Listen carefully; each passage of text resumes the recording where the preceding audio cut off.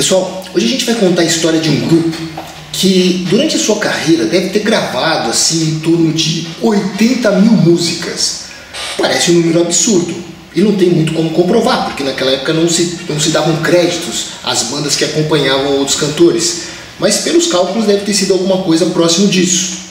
Esse grupo, que começou na época da Jovem Guarda, fazendo seus próprios discos, depois passou a, a participar de gravações de outros cantores. E nesse sentido, eles têm realmente participações memoráveis na história da música brasileira. Tinha um rapazinho de nome Giliard que fazia suas primeiras gravações e começou a cantar alguma coisa sobre nuvens. E esse grupo estava lá acompanhando. Aquela nuvem que passa, lá em cima sou eu. Uma outra música de muito sucesso nos anos 70, já no estilo mais popular, falava sobre um certo Fuscão Preto e esse grupo estava lá acompanhando. Fuscão preto,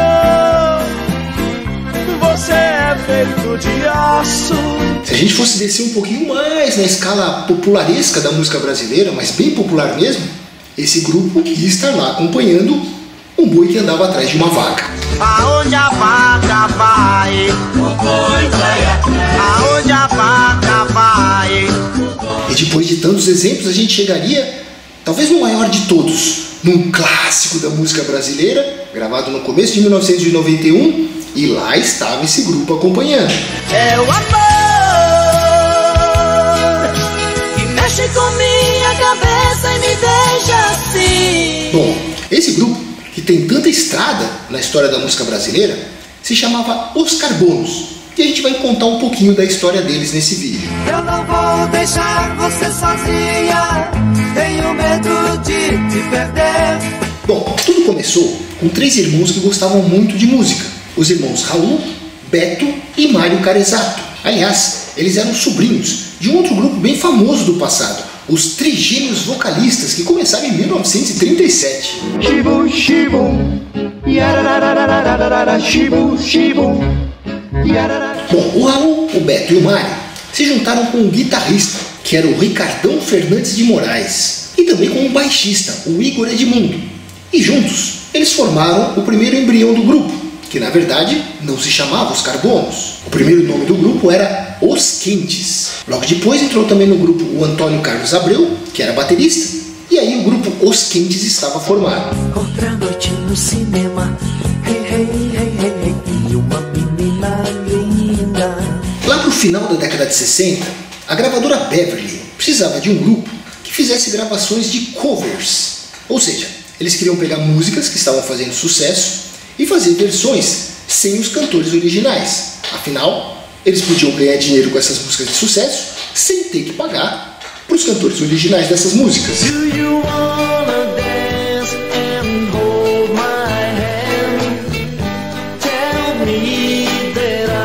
Foi assim então que os Quentes começaram as suas primeiras gravações.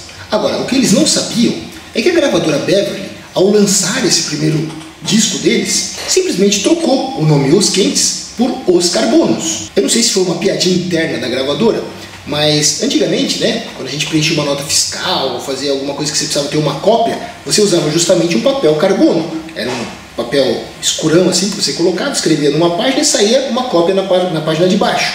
Esse papel, que se chamava papel carbono, não sei se por uma coincidência ou se por uma sátira premeditada, fez com que o grupo viesse a chamar Os Carbonos, que na verdade faziam cópias, versões de músicas de sucesso. Ela é minha menina.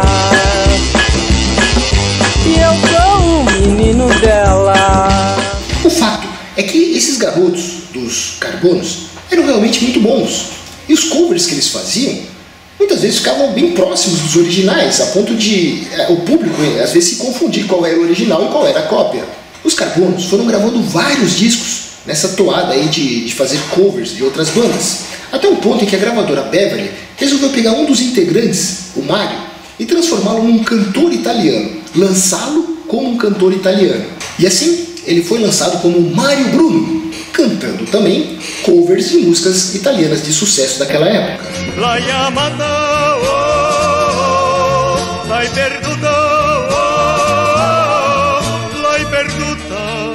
Quando chegou o ano de 1970, Uma música francesa passou a fazer muito sucesso no Brasil porque ela era considerada meio erótica. Era uma música instrumental com alguns gemidinhos ao fundo e que ficou muito famosa por aqui ao ponto de ser proibida de tocar nas rádios.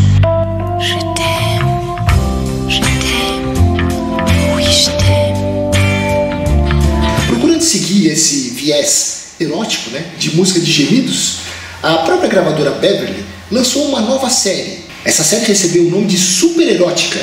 E aí os carbonos gravavam versões dessas músicas eróticas com gemidinhos de fundo. Essas músicas eram destinadas a um grupo 18 né? E a coleção dessas músicas era sempre lançada com o selo Magnetic Sounds.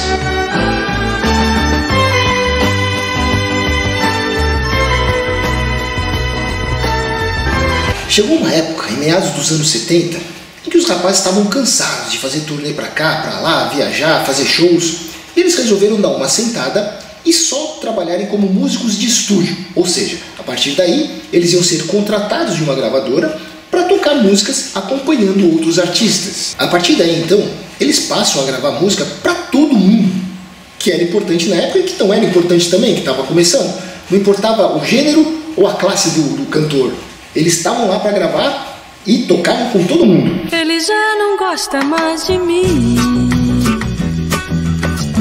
mas eu gosto dele mesmo. Em 1978, eles fazem versões de músicas de sucesso naquela época dos Bee Gees e a gravadora acaba lançando um grupo chamado Harmony Cats, que cantava com o acompanhamento dessas execuções do, dos carbonos e fez também muito sucesso.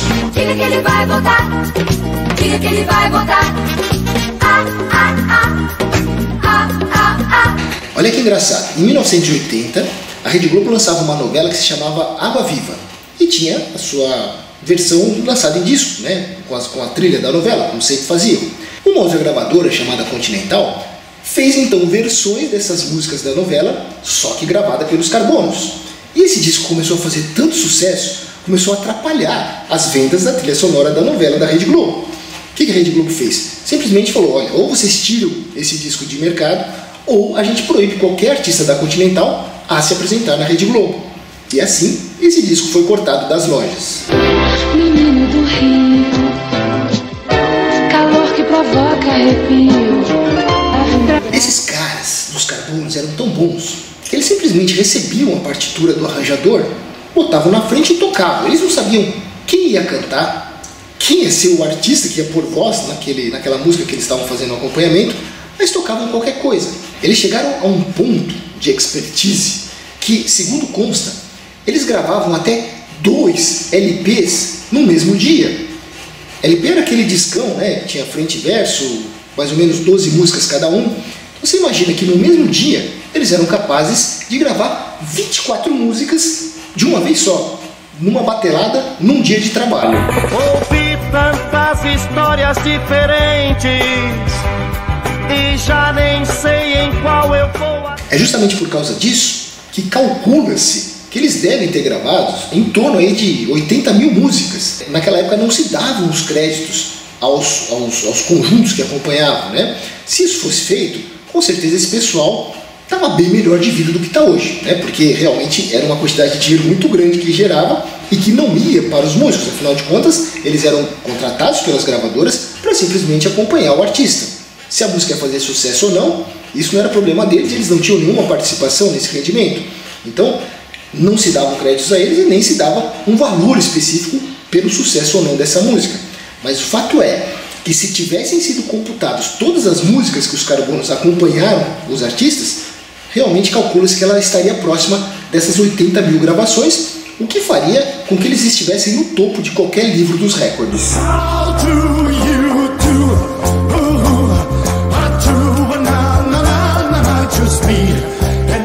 Curiosamente, a gente achou na internet um vídeo que mostra, nos anos 80, uma versão de gravação desse grupo, né, do pessoal lá reunido, para gravar uma determinada música e mais ou menos a gente vê como era o clima é, daquele estúdio de gravação e desses músicos unidos para acompanhar os artistas. Posso gravar o Abreu lá também? Pode.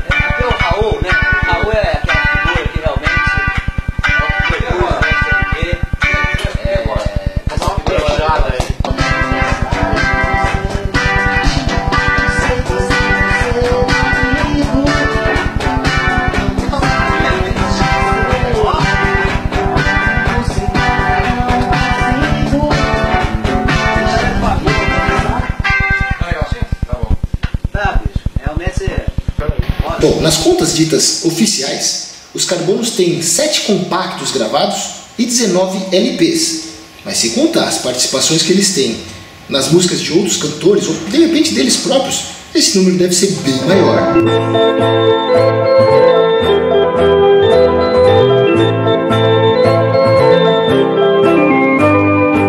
Bom, infelizmente a gente não conseguiu muitas informações de como estão hoje os integrantes desse grupo, mas deu para saber, por exemplo, que o Igor, que era o baixista do grupo, morreu atropelado e o Ricardão, que era o guitarrista, teve um AVC quando acompanhava o Amado Batista durante um show.